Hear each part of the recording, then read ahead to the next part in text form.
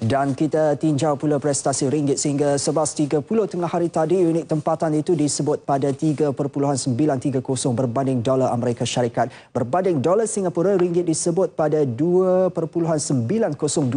dan berada pada 3.685 berbanding yen.